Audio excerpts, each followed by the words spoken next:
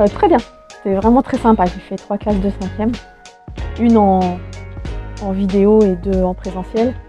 Et ils m'ont posé plein de questions, ils étaient intéressés. On a vraiment eu un, bon contact, ça s'est très bien passé. Plein. J'ai pas d'artiste particulier qui m'inspire, je trouve l'inspiration partout où la vie mène. J'en ai plein aussi, en fait, euh, ça dépend des jours. Mais mon grand truc, c'est de temps en temps, c'est de mettre une bonne chanson à fond et danser dans le salon.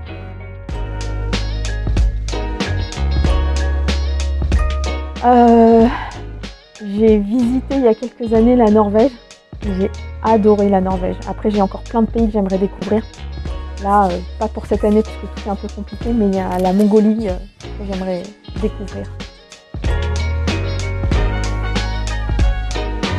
Ah, c'est difficile de parler d'un livre seulement qui m'a marqué, il y en a plusieurs.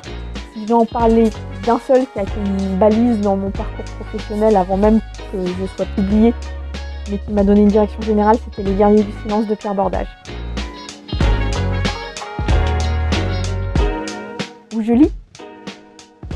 Je lis beaucoup sur mon canapé. Voilà, je prends, je m'enfonce dans mon canapé, je me recouvre d'un plaid et j'ai mes deux chats qui viennent s'allonger sur moi et je bouquine. Et là, je crois qu'on a atteint le sommet de la perfection pour lire.